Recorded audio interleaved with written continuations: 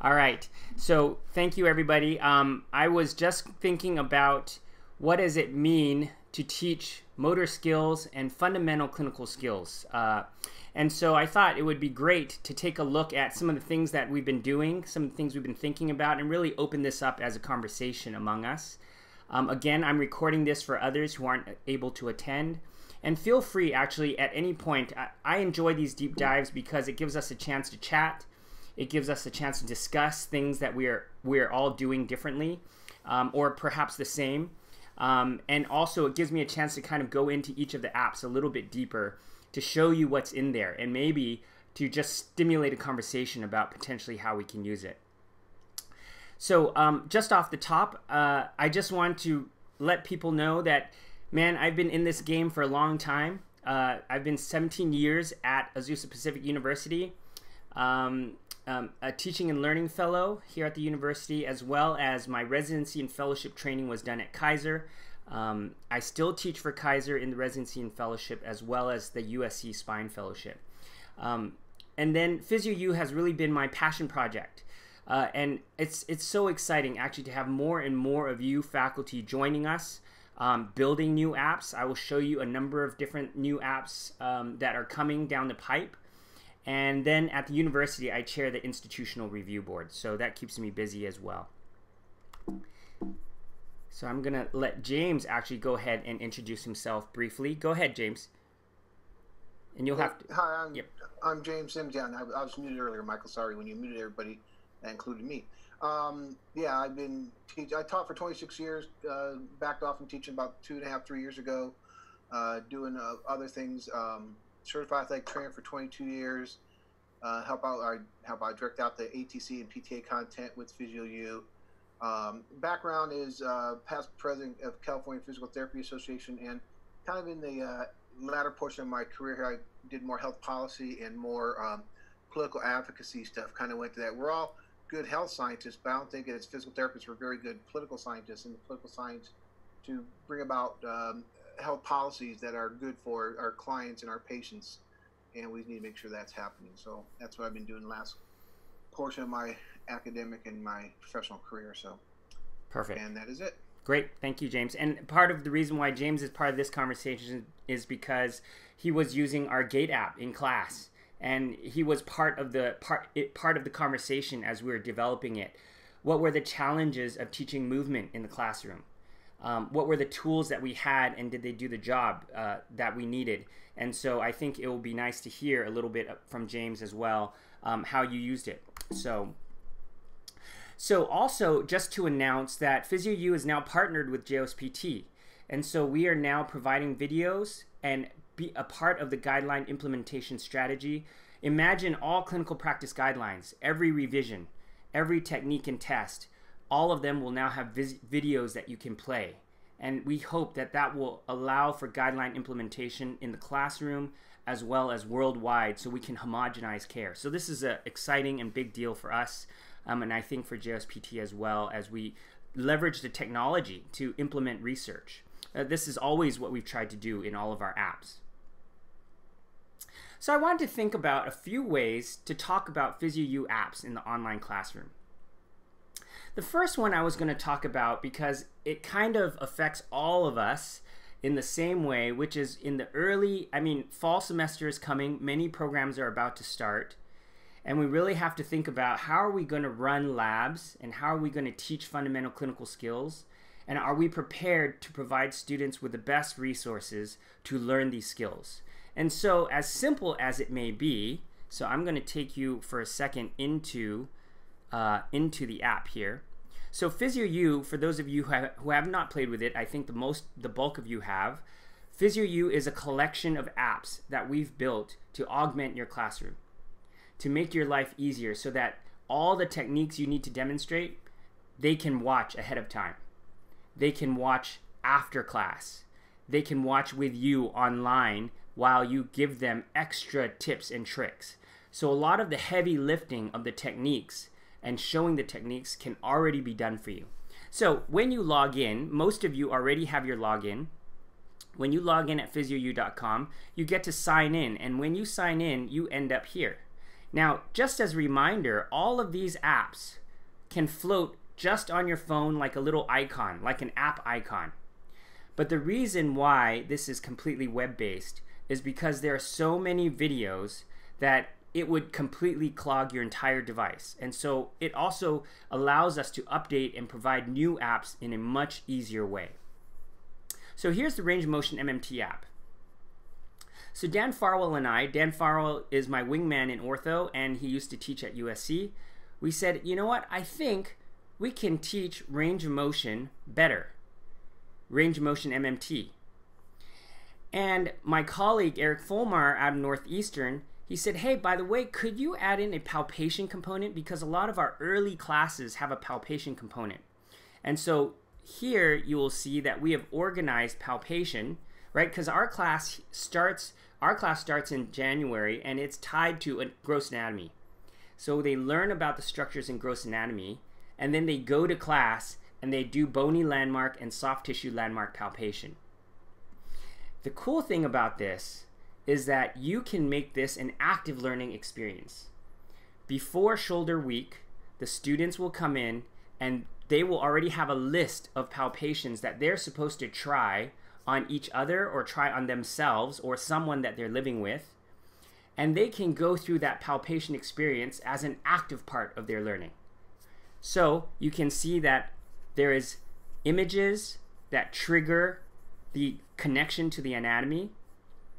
And there's also palpating the intertubercular groove, we're going to identify our tubercle, greater tubercle of the humerus moving just anterior in this position, and you will feel that little groove right into that position here. so you have all of these different uh, different structures for the students to palpate, and that includes, of course, your soft tissue common structures. So you can see anterior structures, the deltoids, the patient position, your resistance, the cues, and we purposely added little anatomy tables so that it would build a bridge between the content. So what they learn in anatomy, they're going to reflect on the action of those muscles, where it or originates and inserts, and the innervation. So a lot of this bridge building, I think, creates an environment where learning is deeper. So they don't close a chapter like I'm done with anatomy now. I've got to work on my clinical skills range of motion class. They're directly connected all the time. And so again, I think it's a new way of learning. It's a new way of thinking. We we know we don't want our students to shelve the information when they move on to the next course. So this is our attempt for that. So this is palpation. So let me take you back into let's take for example head and neck. Let's look at range of motion. So when you look at the range of motion, we purposely added in a bunch of muscles. This was an update. We said anytime we talk about flexion, we really want the, the students to think about the muscles that are involved. So you'll see that same thing for wrist and hand. Let's look at range of motion. And you can see here all, oh, I'm surprised actually. That part must not have gotten updated yet because we've been working on that. So let me show you back to shoulder, manual muscle test. Here are all your muscles. I think wrist and hand, if you look at the manual muscle test, here are all your common muscles. So when you go into that, usually what we did in our last class, so we just finished our manual muscle test range of motion class, you will see that the students watch the video ahead of time. They learn about the cues and the stabilization, the grading, and then eventually the key muscles. There's always a little bit of the keys to reliability. So this is Dan basically saying, hey, so in the clinic where things are not optimal, here are some thoughts of things you might want to consider. So grades 0 through 2 and grades 0, 3 through 5. So a common question that, um, that uh, faculty tend to ask is, hey, what resource did you base this on? Well, we based it first on the textbook that we were using, which is Berryman Reese. So the very similar uh, Nancy Berryman Reese, the very similar style. We just filmed all the videos that matches. The other faculty who have said, hey, by the way, we're using different textbooks that have slightly different uh, positioning. So a very common one is, for example, HIP.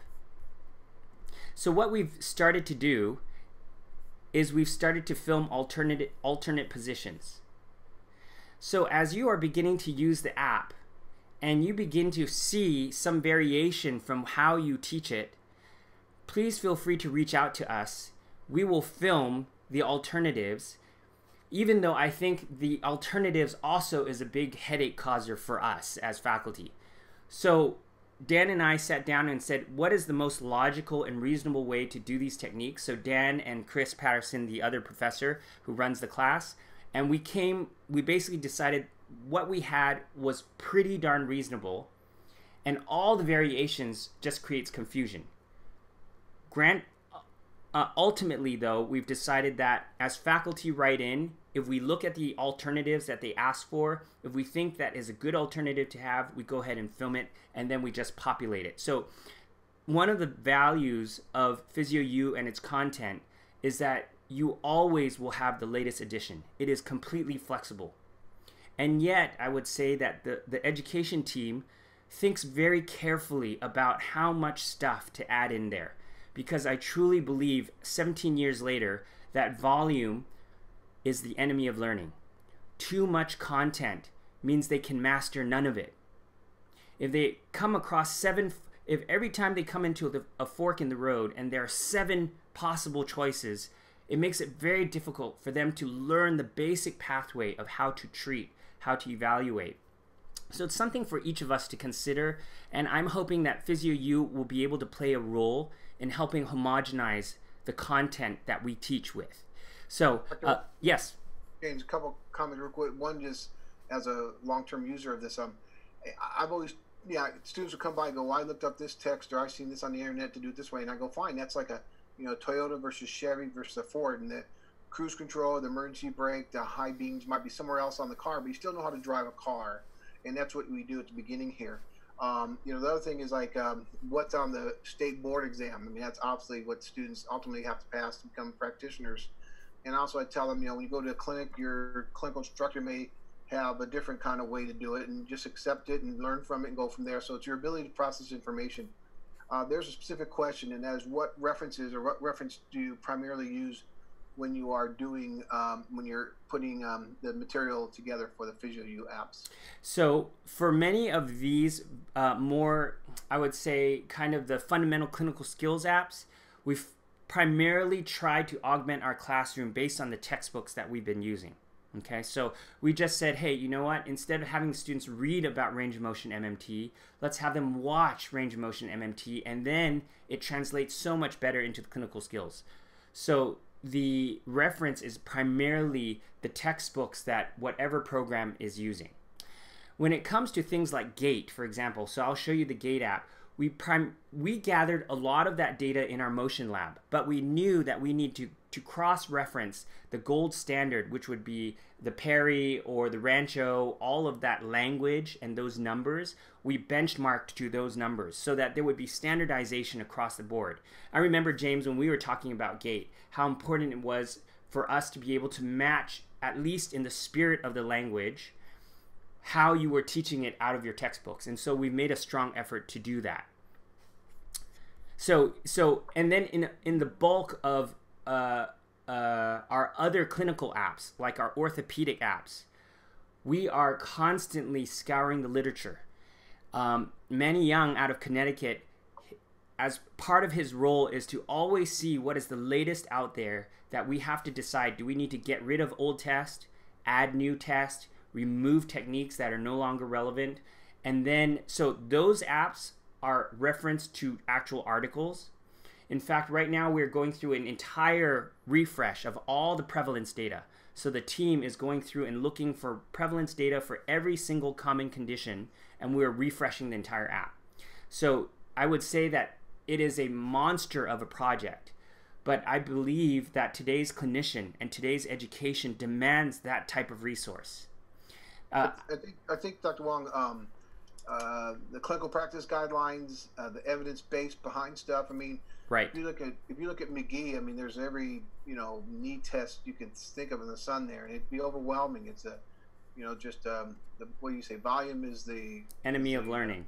Enemy of learning. So, so I think as a, as instructors, you have the privilege and you have the responsibility to to context this with your students and say, hey, here's what this does. It's not the only way. It's a way. It's the way that that is shown uh, with evidence and such. But are other people doing it other ways out there? Sure, for your CIs and for um, other practices. So um, I think you couch it that way, uh, you you're, you'll be okay uh, in terms of uh, telling students what to learn. But basically, teach them how to drive a car, whether it's a Toyota, Chevy, or Ford. There's going to be some variations a little bit in it, and you just and that's just part of getting your driver's license and getting your physical therapy license the same way. Right.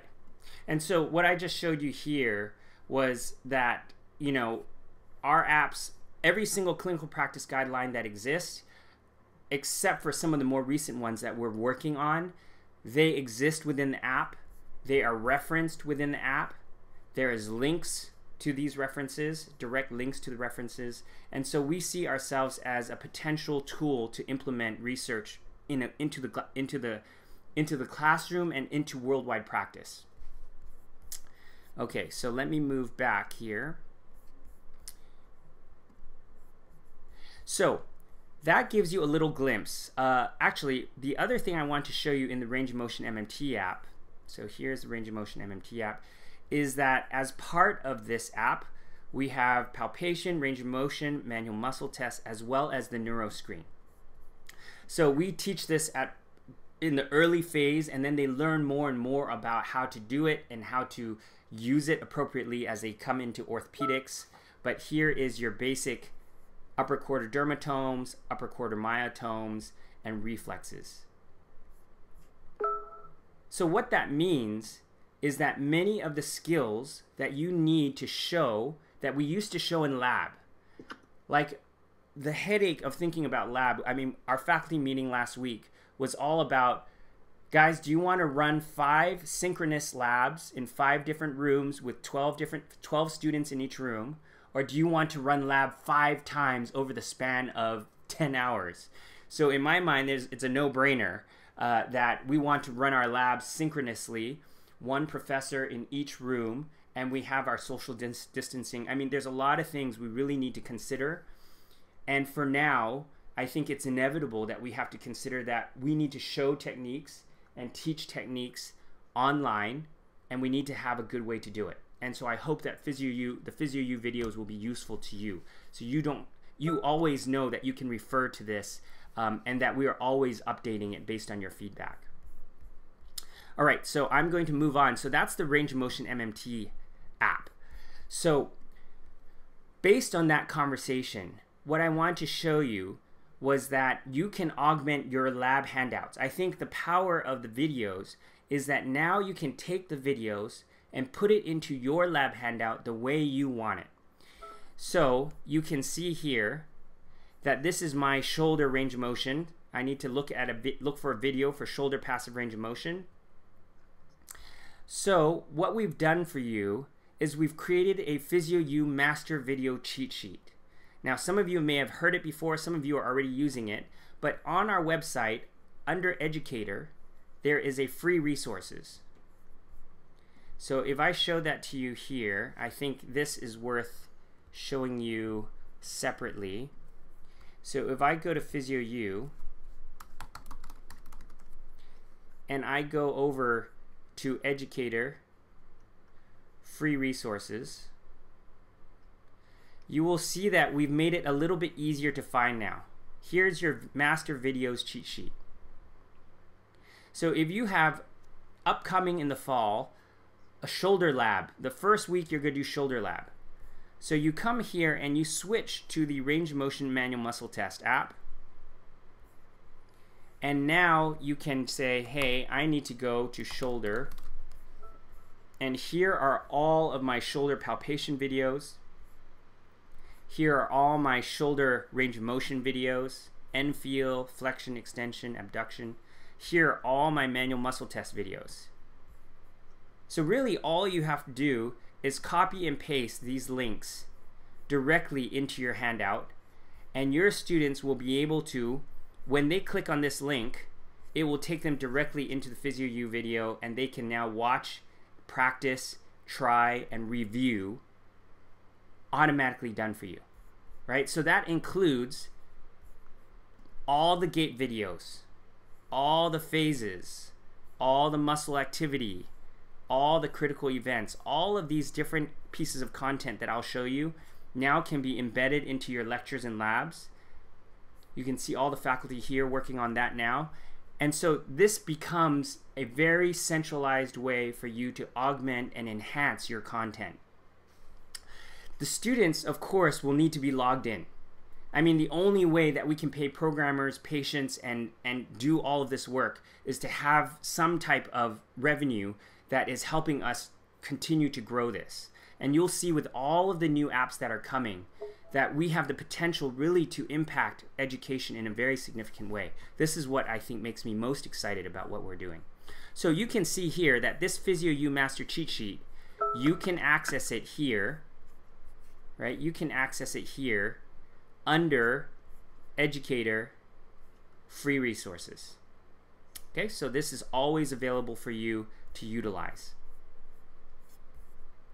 Dr. Wong, um, again tell them where the uh, educator tab is? Yeah, so if you go to physiou.com, so if you go to physiou.com and you look under educator right here, and you'll see free resources down here.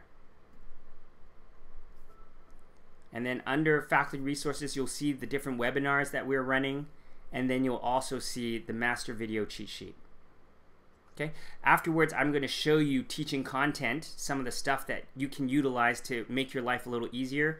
And then here's our deep dive webinar series. And so we've done now an acute care, uh, acute care cardiopulmonary series, an ortho series, as well as a neuropediatric series. These are ones that you can actually direct your, your faculty to um, if they haven't seen it. And we're running this once a month, each one, once a week, right? Neuro one week, cardiopulm another week because I think beyond just seeing what we have, it really helps to hear how to use it. So that's why we are spending all this time to try to help you figure out how to best utilize this.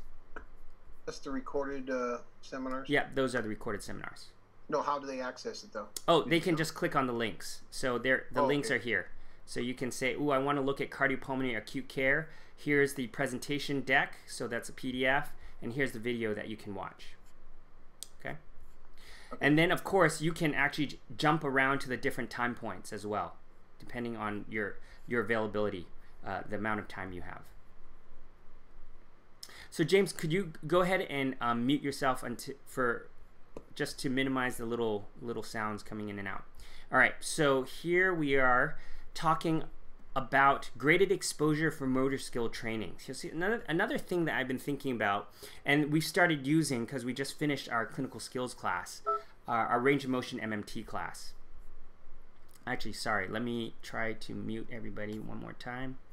Okay, there we go. And I'm going to share screen. All right, so here is the graded exposure for motor skill training.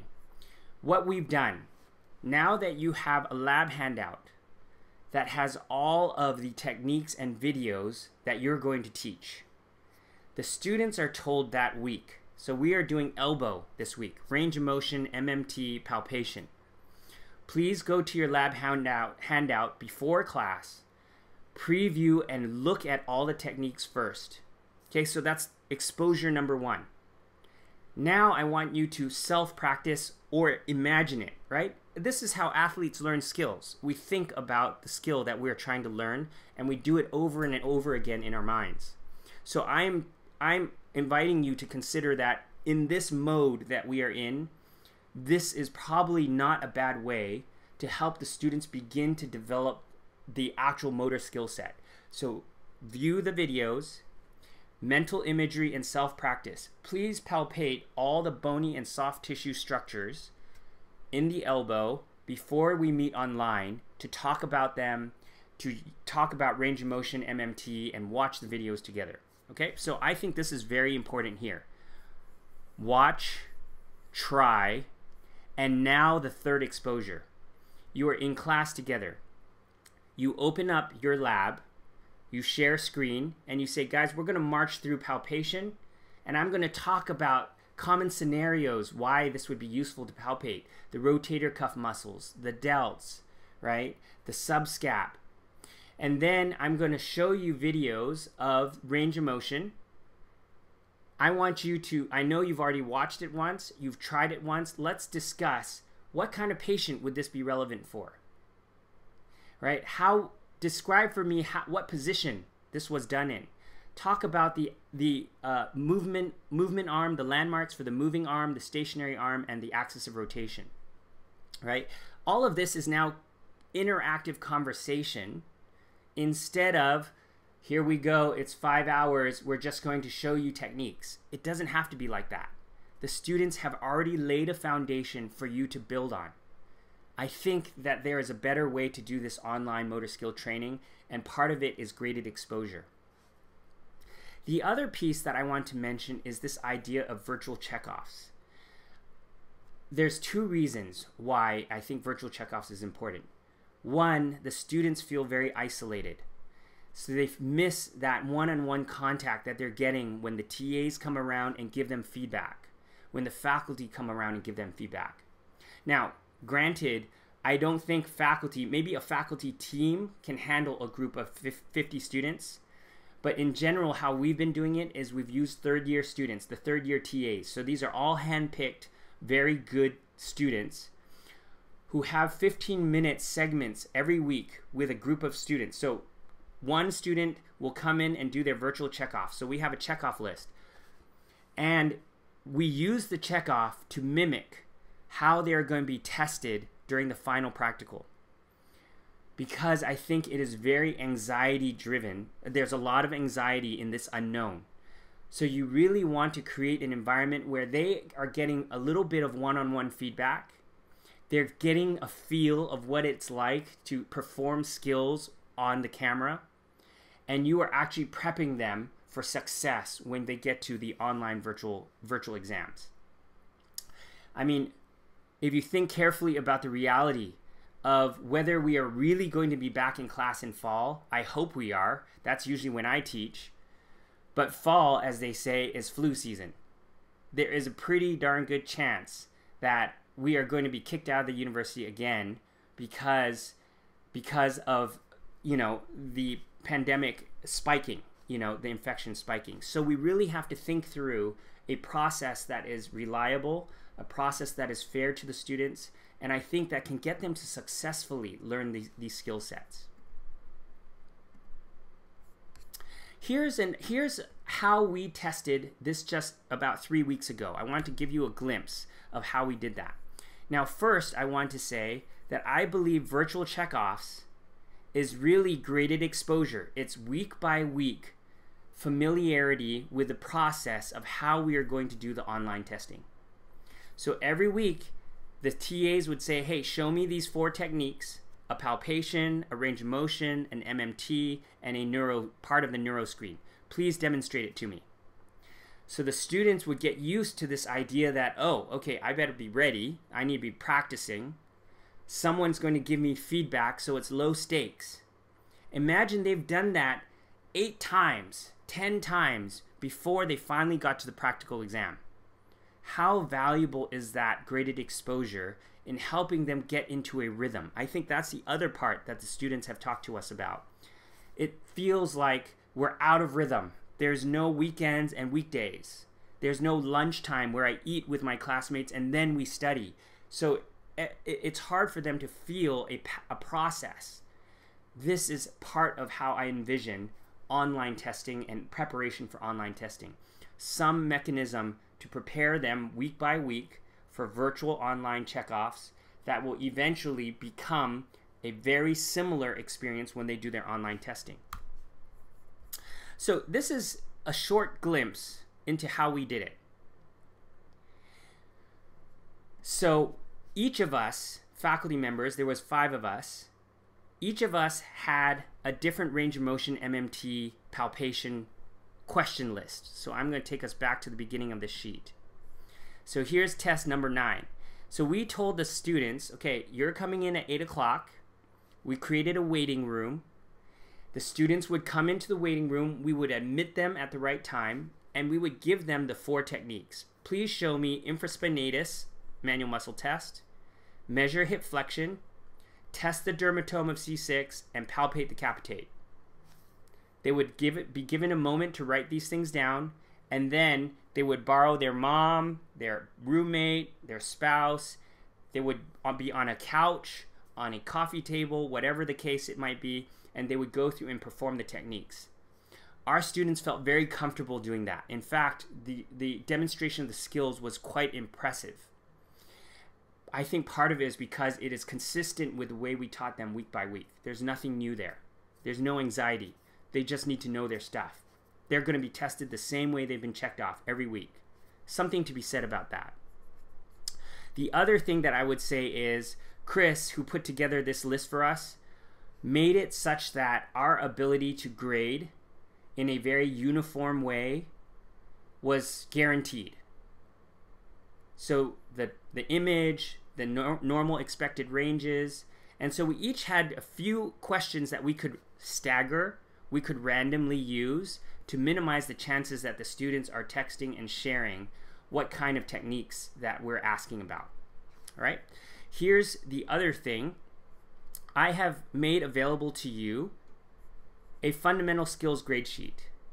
So this is our grade sheet for this class and you can see that as I'm grading the score is adding up for you. And then you can see here that there is now con uh, that comments that we can use. All of this is hiding in a Dropbox that our teaching assistant has helped helped us to set up. Okay. So the funny thing is sometimes the students may not have someone available to do their testing on. And so we are now open to interspecies testing here.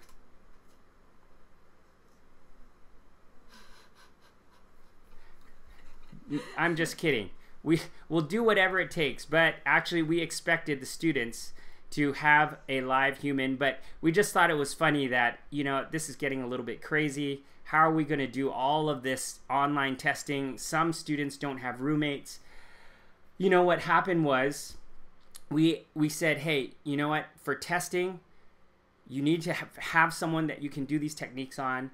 You'll have to figure out the best way for you to do it. Luckily, the bulk of our students either had roommates, spouses, brothers, sisters, someone to do it, and in the worst case, as you could see, they have always have pets.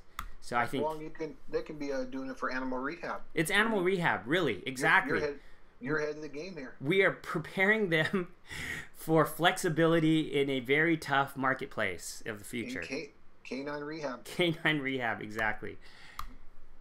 Anyways, you know, in these crazy times, it's nice to have a laugh. I think it's fun to have the students. Um, ah, you know, I think it's it's okay to let things not be so serious. I mean, but when it comes to testing, we still need to hold hold hold the line. We need them to be able to do things the right way. Here's the Gait app. So let me tell you a little bit of background about the Gait app. So maybe about four years ago, I said to Chris Patterson, who, who's finishing his PhD right now in human movement, um, I said, Chris, so what are some of the challenges of teaching about human movement? Well, we always look at static pictures, right? And um, we always look at bar graphs, and the bar graphs mean nothing when they're not associated with images. I said, exactly. And by the way, I spend tons of time looking for crummy videos on YouTube trying to make like this is this is how we educate them. So I said, "Chris, why don't we think this through and create an app that will help the students learn human movement in a more organized way?" And secretly, in the back of my mind, I've been thinking about for a movement-based profession, how is it that we teach movement? how do we help students see visually how people move, what areas move first, at what rate do these different joints move, what muscles are functioning at these different periods of time? How do we tell that story? And so I will show you where we're headed. But the Gait app was really just my beta beta platform. It was my test platform to figure out could we teach human movement and now could we teach all the other variations of human movement uh, uh, functional functional activities using the same platform so here we have divvied out the gait app and I, this is part of the fundamental skills because this is typically in the early first year of PT school uh, of all, most of the, the different programs. So here we've decided in the learn phase that everything would have an image because that was one of the complaints. We talk about the phase. We talk about the range of motion requirements for that phase. Except the graphs are always separate from the videos the graphs have no meaning until you have the image to cross-reference to. So here at initial contact, the hip's at 20 degrees flexion. The knee is at 5 degrees of flexion. It's at 0 degrees of dorsiflexion. The EMG used to be just isolated bar graphs. I remember, James, you and I used to talk about this. The moment we started talking about muscle activity, the students' eyes would roll up in their head because it didn't make sense. There's too many disconnects but now when you see, hey, the foot is about to slap on the ground, that's why the anterior tib is firing. That changes the way students can understand movement and muscle activity. And here are the critical events. So you can see we tried very hard to make sure that the language was compatible which with whichever style of you know the critical events are the same how we label it sometimes are very different. And so we tried our best to make it universal. So you can just click through the different phases and the students could now flip tab to tab. This is how I envision students learning about movement. This is how I envision teaching movement. When they're done, so the students would usually go through and explore this and learn this in a very kind of predictable, learn at your own pace, study the image. Does the muscle activity make sense or not? Does the range of motion make sense based on the image? So they're beginning, they're, they're trying their best to kind of learn the basics before we go to analyze. Analyze is now how we get them to translate this into clinical practice. So you have regular speed, you have close up slow motion, you have different views. And as captured in our motion lab, you have range of motion real time. So think about how fun this can be. You stop the video at any point and you ask them, what phase is this? What range of motion is occurring at the hip, the knee, and the ankle? And you can just play this interactively with them. Same thing for EMG. Here's the anterior tib. The ankle is in swing. The, the leg is in swing. Now that the foot's on the gr ground, the anterior tib is quiet. So the stories that you can tell, the interactions that you can create, I think this is how you make understanding movement real. Here are your deviations. So for example, this patient always complains of knee stiffness and knee pain. So when we looked at her from the front view, we noted that she has a varus thrust. How are you going to describe a varus thrust? There's no better way than to talk about someone who has medial joint line enlargement, stiffness and pain, and is demonstrating the movement fault. Here is the patient with insufficient knee extension. Right? What's the associated phase? What are some potential causes? Why did we put the causes? Because we thought that this would be a fantastic way to build a bridge to, hey, by the way, in your manual muscle tests, what, how would you test this? Hey, by the way, for your range of motion, how would you test this? What's the stationary arm? What's the axis? What's the movement arm? What are the landmarks? How would you treat this? Even if they don't know anything yet about treatment, you haven't gone to ortho yet, allow them to expand their thinking with whatever previously known knowledge that they have. This type of conversation is how you create deep learning. This is why we put this here, so that the, the faculty could help them go beyond the curriculum, go beyond that semester, and say, think about what are some common ways you've seen in the clinic before that you would work on quadriceps weakness? Oh, right, electrical stimulation. That's what you guys are learning right now in your in your physical agents class. Right? So I think a lot of this is already built for you so that you can now really work the magic with the teaching, with the transference of your clinical expertise into these because you don't have to spend so much time building this. You can now really craft their reasoning and their thinking. So you can see that we have both analyze for deviations of prosthetic gait. Here is your transfemoral. Here is knee instability. He is actually a professor. So when we filmed this, he just pulled the battery out of his knee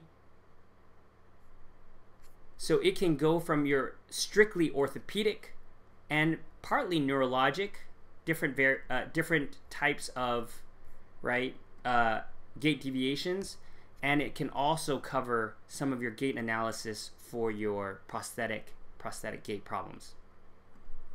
Okay, so I would add in one more piece. We purposely turned these into case studies since these were real patients. So the patient that's complaining of significant great toe pain and heel pain. Okay, he is one of our athletes.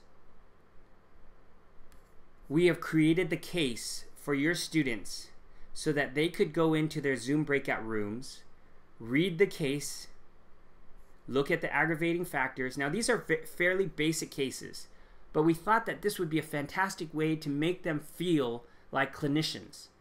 So this is the patient coming in. This is their aggravating and easing factors. They may not know too much about that yet, but they'll be able to understand enough and they will start going through the clinical reasoning questions. Now, all the answers are here. We've hidden it on purpose. We tell them, don't look at the answers. We want you to go into your groups and discuss the patient. And when we come back out, we will now discuss what we see together. And so here, for you as faculty, you'll be able to quickly look through and actually add to, but at least you have the foundational answers to build from. So you can see that the students can then go through and do their analysis.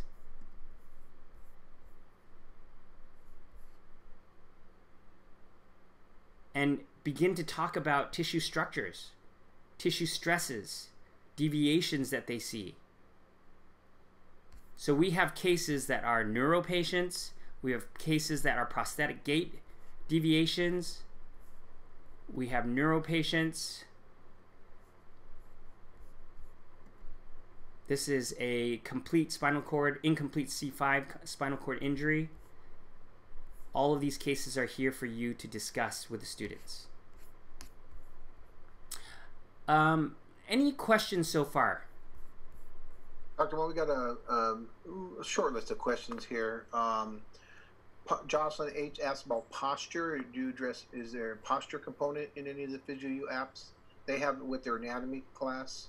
Uh, so, uh, if there's any, any way to address that. Actually, I don't have that. You know what? I'm going to be working on that. That is something very easy to do. Um, and we we recently went back to the university and brought our green screen, uh, brought the green screen home. So those are things that I I in fact, would you Josh would you uh, email me at mike at physiou.com so we could talk about that? I'd be very interested to hear. It's Jocelyn and Jocelyn Dana, and Jason and Dana just jumped on said it'd be great. So Dana, yes, thanks for speaking up because now you're on the team to help out. Exactly. You know, I'm thinking maybe you have images of the common different postural deviations, postural faults. And then you have a smattering of pictures and images, front, side, and rear view, maybe front view as well, that students can now go and analyze. Yeah. So what something like that. Weak, what muscles are weak? What muscles are tight, causing it? I mean, exactly. We can bleed this into rather just memorizing postural phenomena. It's like what causes it and how do you then treat it? You know, just all goes to that permanent learning rather than just learn and burn for a test type right. thing. Second question: tester sheets. If you can share where, like yeah. you, uh, the tester sheet is here. Remember physiou.com, educator, free resources. And then here under teaching content, you have fundamental skills grade sheet. And so it is here for you to just replicate and use or modify. But uh, I thought that this would be useful to share because, you know, what we do is we create folders. So we know from tester five, which was me, I would have these 15, these 10 students. And so each of these sheets were replicated with their names already put on it. So I would just click into my Google Drive, pull out a sheet, grade it, and it was already done. So that later we could easily add the grades and, and go over this. We could find it easily, and so that's where it's at. So all some of you have already found it. The other two questions you may get to them later. You already addressed one, but uh, Michelle K is asking for uh, kind of a kind of a uh, kind of a reiterate the online testing uh, methods and how you've done that. And the other one is the individual apps that are still out there on the iOS App Store or something uh, where you can buy individually the MMT ROM. Yeah. Versus, you know, like now you've gone to the web base and, and, and the and the uh, value that yeah. So I think you may do that at the end, but I just want. Well, I think this is a good moment just to say when we started, we had one app. It took us two years to build one app, and that was the orthopedic low back pain app. Eventually, we kept releasing apps into the App Store, but it became impossible for us to keep updating them because you have to you have to go through a very laborious updating process. One typo, you have to go through the entire submission, approval, disapproval process with Apple, with Google Play. And eventually the students said, "Hey, our phones are full. We cannot handle any more apps. So we decided to move into this web based platform because all of our videos are short. So streaming would no longer be a major issue. I would advise that nobody uses the native iOS, Android apps. You only use the web app because you will keep getting new apps and new additions. So this is the future. This is where I think you never have to buy a new edition of PhysioU. You just continue to support us continue to update it, do research, to to make new apps. Um, and so uh, I would say don't use the ones that are on the iOS store or and or Google Play anymore. This is the future. The only reason we've left those up up there for now is because we don't have necessarily the ability to allow people to just buy like I only want your range of motion MMT app, right? Right now we can't do that very well, and for that matter, the apps are so cheap. Uh, I'll share that with you uh, towards the end. The apps are so cheap because we know that the student's debt burden is very high. And so, again, I would say that the web based version is probably the most flexible version. The students can use it on their iPad, their Google Pixel phone, their PC, their Mac, anywhere they have a browser, they can use it. The students really needed that flexibility. Okay, so let me take us through. Uh, that's the Gait app. I am excited because today we will be releasing the Physical Agents app. There is iterations, there's still updates. I still have faculty vetting it, going through it, and sending me feedback. But I'll be making those changes on the fly the fac- many faculty have reached out and said, hey, we're in the midst of our physical agents class. We need this app. So let me take you there. This is in our development platform. So here at the bottom is the new physical agents app. So now you can pick and choose. So let me slow down here. I know I'm scrolling too fast. So you've got all your major categories. And within those categories, you have the different devices. Okay, so I'm going to take us to something I think might be a little bit more useful or cooler, not necessarily useful. So here's here is your diathermy. So I can hear the collective groan of having to set up the diathermy machine to remember how to start it and, and, and use it. I remember having to do this every year. It was painful even though I kind of dig diathermy to be honest. Uh, so I, uh, there, to be honest, it is in a bunch. It, it's in the clinical practice guidelines for certain problems. So here's your diathermy. here is the information broken down into little pieces purpose, indications, your references. Here is a video of the setup narrated by me. The use of shortwave diathermy can be applied to the patient. Here we are using capacitive plates. The plates should be parallel and facing one another with a target region in between the plates. So you can listen to the whole two minute spiel, or many faculty will just want to talk about it. So we've turned this into a high speed silent video. So you can say, guys, we want to make sure that the towel is there to absorb any moisture. We want to make sure that the plates are parallel. Now, as we go ahead and set up the device, we always have an image gallery that also allows you to just flip through the different parts of the setup. Because we figured students will want to watch it in different forms at different times. In clinic, they may just want to go, hey, you know what? I have a patient waiting for me. I need to do I need to do lumbar traction. So here is my purpose. Here is my gallery, and I just need to quickly flip through this.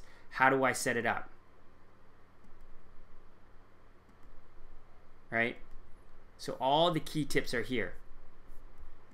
Under setup, you'll see that we have the settings. Okay, contraindications and precautions are all here as well.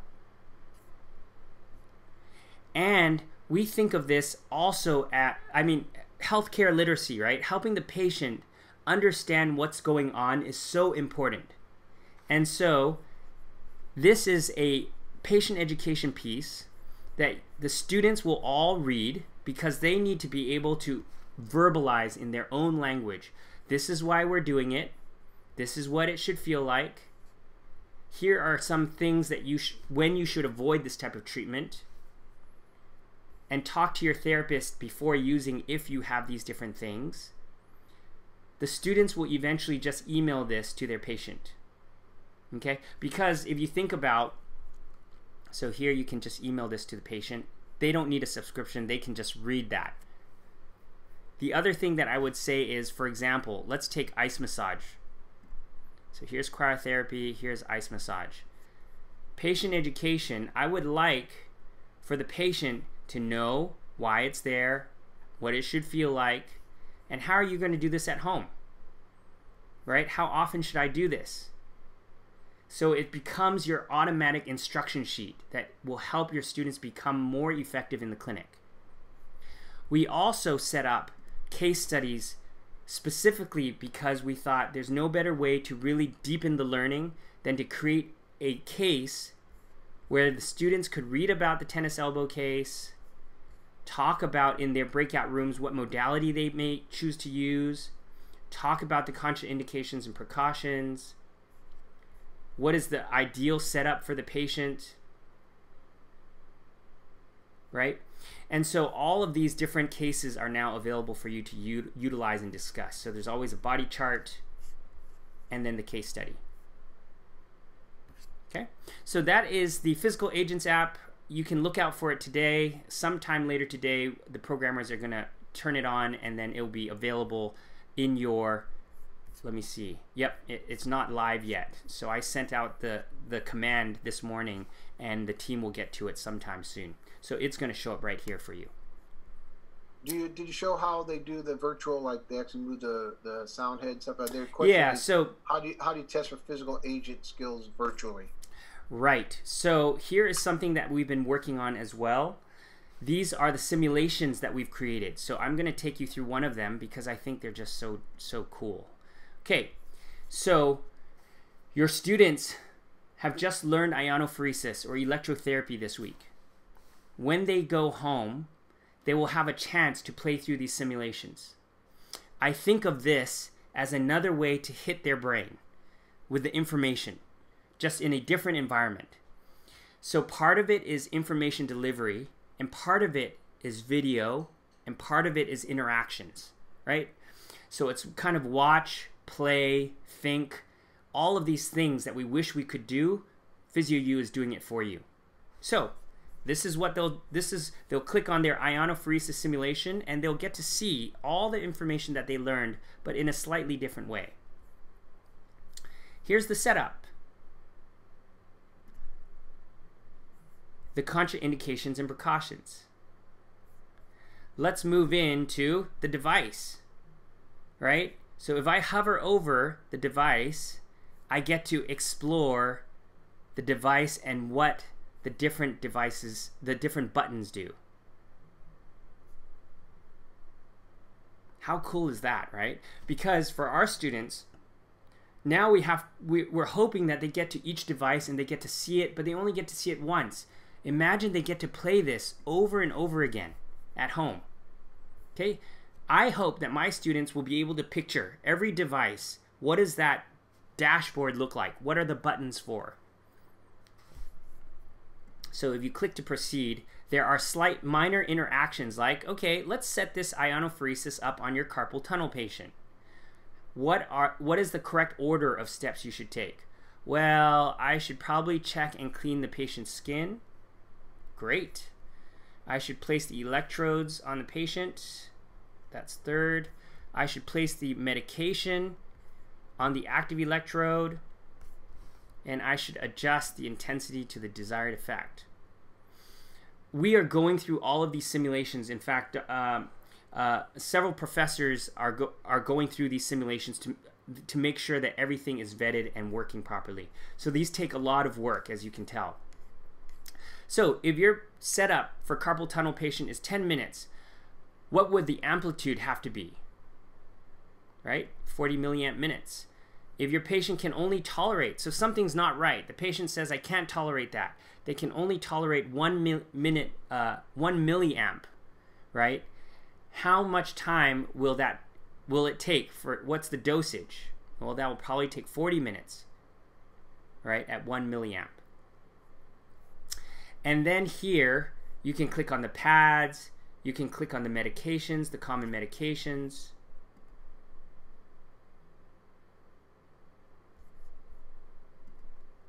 and then we'll give you a little case. The patient says, I have a lot of pain, but I don't have any redness or swelling. So, what should I do to manage pain? The medication uh, that the physician will most likely have prescribed something to reduce pain instead of reducing inflammation. Can you mix the polarities of the medications in order to treat swelling and pain? Well, no, because they may have different polarities right? So all these little clinical reasoning questions that we want them to kind of think through. Clean the skin in preparation for the electrodes. Ensure that there is no metal in the area to be treated. Using a syringe, inject the appropriate amount of medication into the pad. So they will watch the video again that you've probably had them watch already in their in in the early part of their class and then we take them in to do a case. Okay, so we have we're we're finishing these all of this text here, but you can see that the patient's coming in with severe tennis elbow. Why don't you choose the contraindications that might apply? So they go through and they choose the contraindications. So again, think about how much graded exposure in my mind is a very big piece of how we help students attain mastery is it's not a one and done. It is always multiple ways to hit their brain in different directions so that they can really utilize the content and, and make some decisions with it. So what question yeah. question was how did you get to this sim? This sim is hiding in our development platform. We are building it as we speak. Uh, the team announced that besides traction, we have finished all the simulations and this will be available for the students. I'm hoping sometime in July. But I mean, we we worked on the app first, so you would have a reference tool. This is the next generation of how I think about teaching modalities is these simulations. So it, when when you roll these out, I mean, you're going to well announce it. To yeah, the faculty everybody. will all know. We will teach you how to find it, how to utilize it. It just takes an enormous amount of work, if you, as you can imagine. So PhysioU is no longer just a video library. I hope that you are seeing that we are thinking deeply about evolving the way that we teach uh, our craft. We teach the skill sets and the thinking. There are many projects that uh, I will share with faculty over time as they evolve and become more real. Um, but this is this is really this is real. I have them for all the modalities. They will play through these. Um, uh, I see it as they play these every weekend after they're done learning this particular uh, particular modality. Two other quick kind of ten thousand foot questions, and one is uh, with the uh, scenarios, case studies, whatever, where you have the answers. Um, how do you blind? I know the answer, but I'll ask you rhetorically for the group. Yeah. Uh, do you blind the answers from the students? And then the second thing is that is there a way to? And Jocelyn's funny. She um, she trusts them, but she wants verification. Is there any way to track whether the student actually spent time going over and looking at the videos? So not in the current model. So the, we are rebuilding the entire the entire system. I have not even thought much about tracking at this point, even though we can track overall users clicking here and there. We just didn't think that faculty like we, I haven't even imagined what a faculty dashboard for each individual program would look like. It it's a very complicated issue. If you think about it, you will have students using PhysioU apps from first year, second year, third year, and even into the first year in clinic. So to be able to keep track of them is is not an easy task, but it's definitely something that people have asked for. It's something I'm thinking about. Um, yes, you're right. Students may or may not choose to leverage this resource. I think it is kind of cool enough and way better than staring at pictures of modalities that they will no doubt go here to learn. And so the tracking thing is um, something that's in my mind. It currently doesn't exist. And then um, um, they um, it goes back to the student's responsibility for their learning. I think we've gotten to a different group of, of learning mindset for our students that you know they're responsible for the learning. So if they uh, go over a scenario and they click right to the answer rather than try to problem solve to the answer themselves first, they lose the benefit of the of the app, right? You know, and, and such. And I think that, and then also Johnson, I think that if um if they don't review the videos, and then when you get to the real time discussions or, or breakout rooms, or whatever, uh, they're gonna sound like like like like knuckleheads. They're not gonna yeah, they, they won't know the about. stuff. Yeah. yeah. So and so I mean, it's almost kind of a peer pressure. Say, man, I don't want to look like a like a dummy in front of my colleagues. They better take a look at this video and have an idea of what we're doing today. Right. So yeah, we'll see. So here you're adjusting the setting. So we've asked the student, the parameters is the time is 20 minutes. You've set the, the time 20 minutes. What is the dosage? What is the current? Please drag your hand and set the appropriate dosage. How cool is that? Right? Why did I do this? Because I think this is the exact thing that we don't have the ability to help them do. So we are creating animations for them that will help them move the ultrasound over the shoulder, collect connect the pro- appropriate leads in a cross pattern for the iono for, or for the for the IFC, right? Play with the dashboard to learn how to use the device. All of this we are building for you and for the students.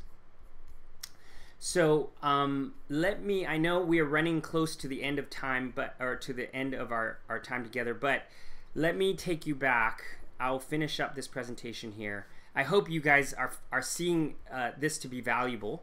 Um, okay. The, any comment on the uh, learning um, management systems? Yes, the, from the learning management perspective, system perspective, you might consider um, that any of these videos you can embed into your LMS. That's not an issue. The students will click on it and then it will take them to, to the website. So we are working on a way to make it easy for the students to just log into the LMS and then boom, PhysioU is there for them. But that is going to be in version two. The programmers are in the redesign process. We aren't even able to see the blueprints of the redesign until probably late July. Okay, just this is probably the last main app that I'll be talking about. This is the fundamental you know, clinical skills of assistive device fitting. So the students can watch videos of how to fit these devices. They can learn about all the gait patterns. So here is your different gait patterns with all your different assistive devices. You can watch it together. They have watched it ahead of time. They may use umbrellas to try these different things out, right, at home. And these videos were designed for both right and left lower extremity. You can see that we filmed with a stocking on each because we wanted to make sure that you could eventually show the patient how to use their crutches, watch the video together. For modified three-point gait, with the left leg affected, have the patient first bring the crutches forward, next the left leg, and finally step through with the right leg. This can be emailed to the patients, just like instructions on how to go up and down stairs. Left extremity, non-weight bearing. We'll watch this together with the students. They will try it out themselves and then they will know to watch these videos with their patients and then email the video to their patients. This app includes bed mobility. Okay, we filmed the very basic, most basic version so that you could augment it with whatever you wanted. All the extra stuff you wanted to tell them, you could build on this basic thing. Okay, so all these videos are here for you. Sit to stand and stand to sit with the different devices. Basic transfer training. Right lower extremity non-weight bearing. The following is how you would perform a stand pivot transfer. You will first begin by having the wheelchair as close to the strong leg as possible and then you're going to have your patient scoot towards the edge of the mat and then lean forward as they stand up on the strong leg. And then you'll have them pivot towards the chair, assisting them as necessary. Reach back for the handle, lean forward as you slowly lower yourself down into the chair. And then we also have some wheelchair, basic wheelchair, the idea, the purpose, some factors to consider, how to fit them, some basic propulsion and mobility, right? So how to get up and down ramps through the doorway. So this can be something that you use to teach the students. The students will teach the patients and they will email it to the patients. Uh, in fact, I'm now working with another professor out of Plymouth, uh, Barb, who said, "Hey, I would like to add some amazing stuff about like pressure relief." So this week I filmed a bunch of pressure relief videos Again, this app will continue to evolve based on feedback and support from you as faculty. All right, so a sneak peek. So this is probably the last two things that I'm going to show you today. As part of your gait analysis, partnering with Dr. Edie Kendall and also Dr. Brian Cleveley from University of Idaho, we have a gait virtual gait analysis app that the students can now use to begin the process of systematic gait right, gait analysis. So you can slow the gait speed down, you can apply goniometers on the patient, and we are using the Edinburgh Visual Gait Score. The students will basically go through, analyze what they see, and click on what they find. So as they go through this systematic process, at the end they'll be able to compare their score to one another as well as compare to a key that Dr. Kendall is putting together. So you have a number of different patients in here that they can then go ahead and analyze. The next version of this, I will put in the Rancho, uh, basically all the key faults. I'm going to organize it in this same fashion. So you can choose to use the Edinburgh Visual Gait Score or kind of the Rancho style analysis.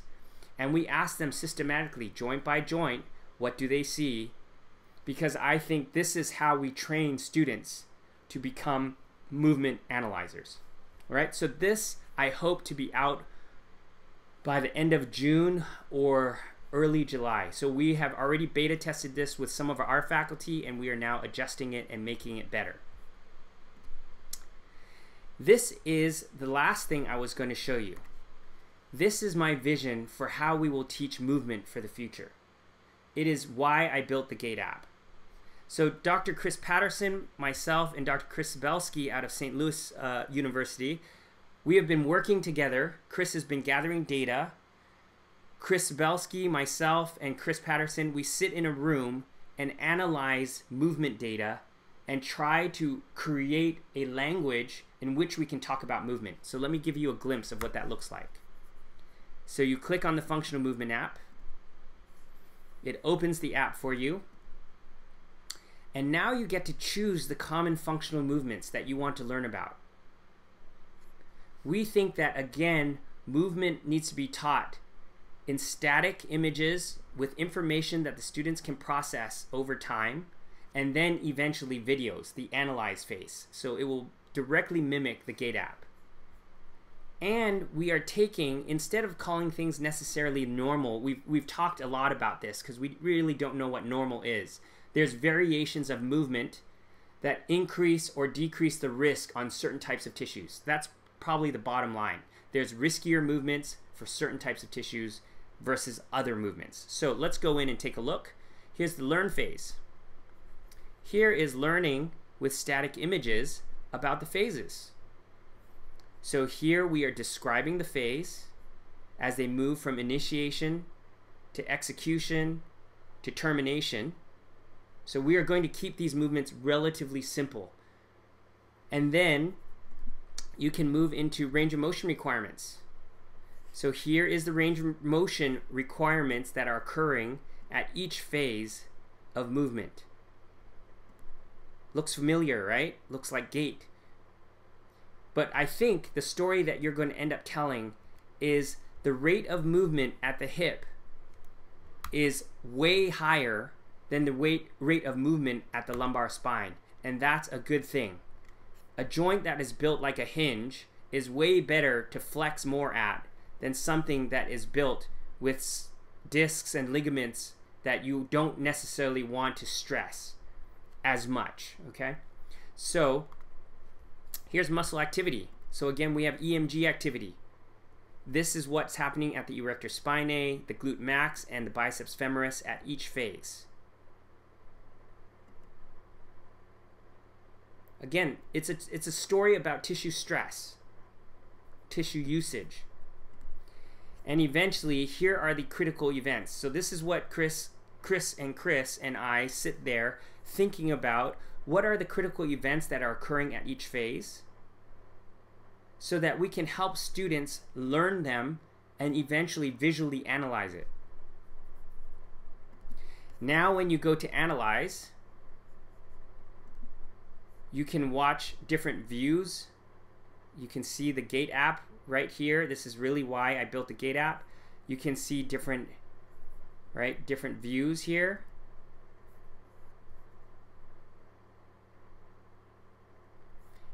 and eventually you will get to watch the video of their movement and the range of motion that's occurring in real time. Imagine the stories that you can tell about human movement now that you will have this tool available for you.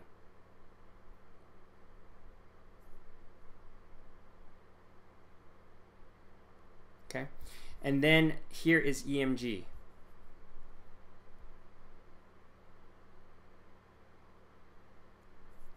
So you can see at the early phases of the movement, the erector spinae don't have much work to do.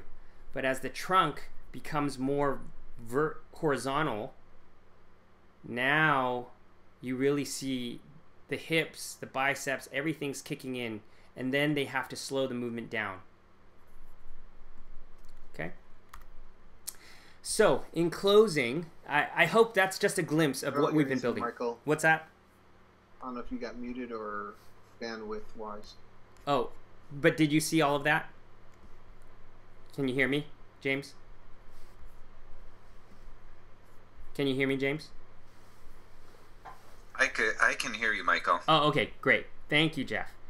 So, I guess in closing, and I, I'm sorry we've gone over time. I just had so many things that I want to show you. Right now, you have several of these apps that are available to augment your classroom. assisted devices, range of motion MMT palpation.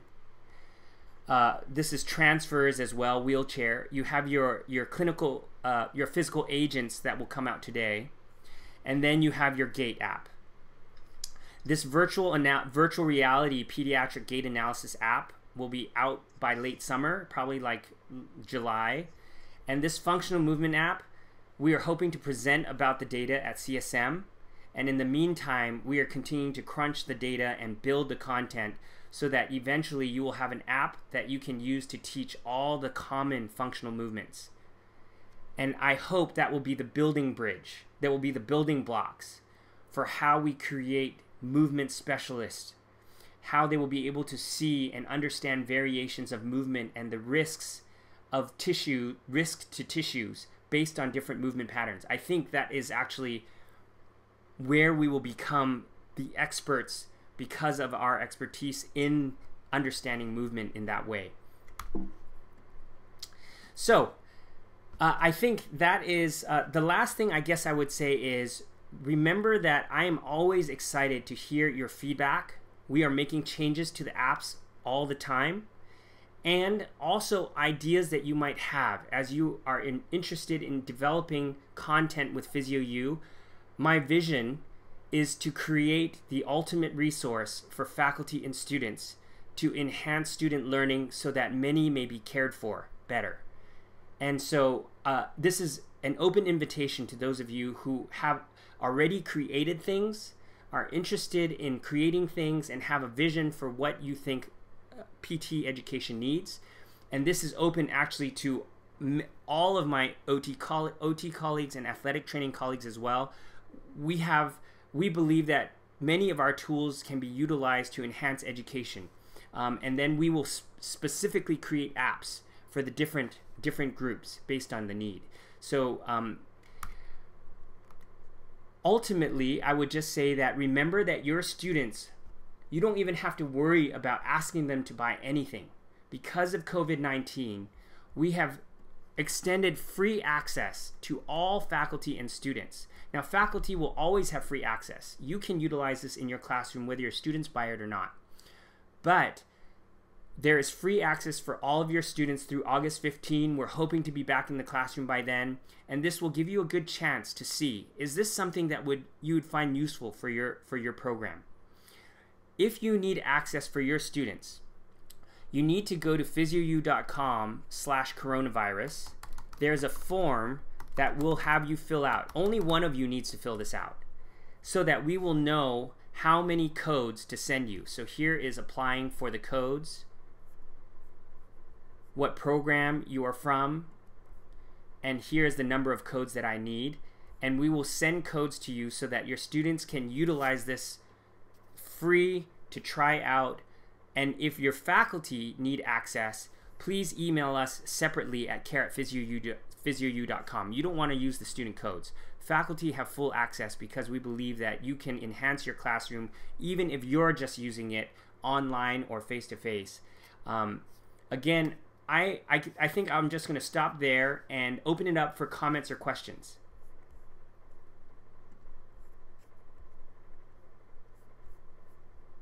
And make sure that you unmute yourself. James, are there any comments or questions? We got most of them done. Just um, uh, again, uh, Michelle K was asking uh, the online testing. If you're going to review, yeah, again how you how you went through that. Yeah. But uh, let's see if there are any other questions too. Yeah. So for the online testing, let me take you back to that slide here. And then, what's the cost for students for fall of 2020? Okay, got it. Yeah. 108. Yes. So let me do that first. Student okay. pricing you can do it either way, which is one, some schools will say, hey guys, we're going to use this for all three years. So the best price you can get is $162 for four years. That's like $3.50 or something like that per month. So many schools will just say, this is great. I know it's important for them to have an extra year when they're first out in the clinic. We, in our program, we use it from the first day. In orientation, we share with them these apps they start using it the next day in gross anatomy and range of motion palpation. So they have the apps from the first day of class.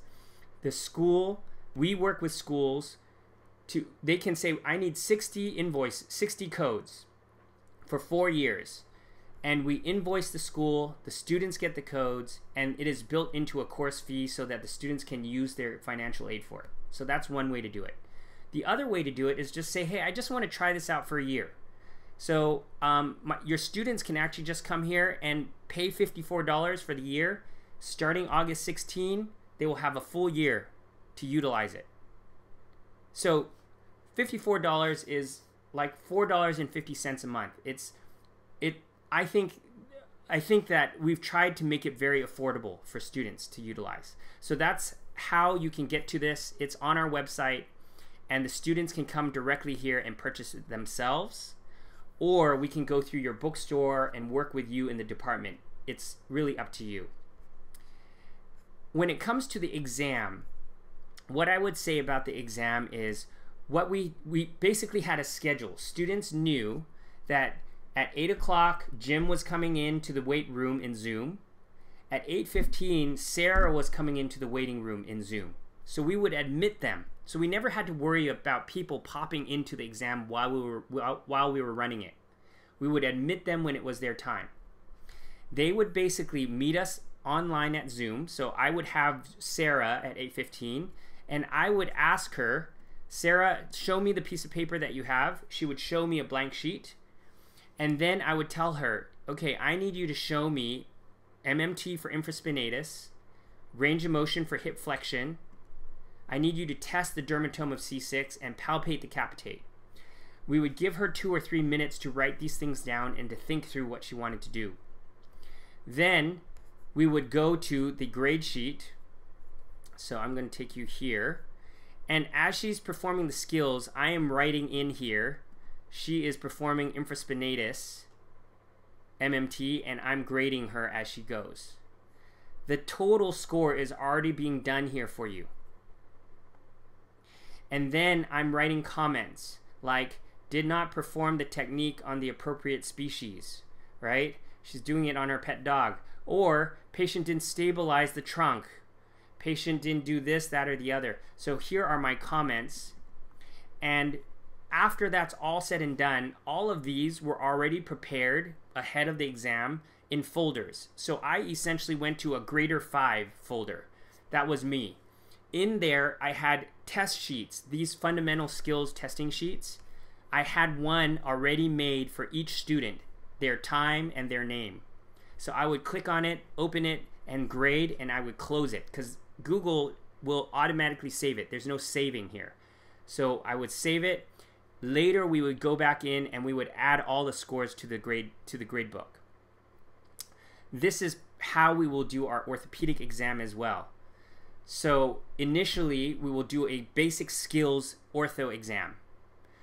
But I think we have to think, I'm thinking heavily about how are we going to create case scenarios that we can utilize not only in the online classroom, but also for future testing we have built in the same way that we've built these simulations here, in the same way that we built these simulations, we have built 50 simulations for all of the common orthopedic conditions.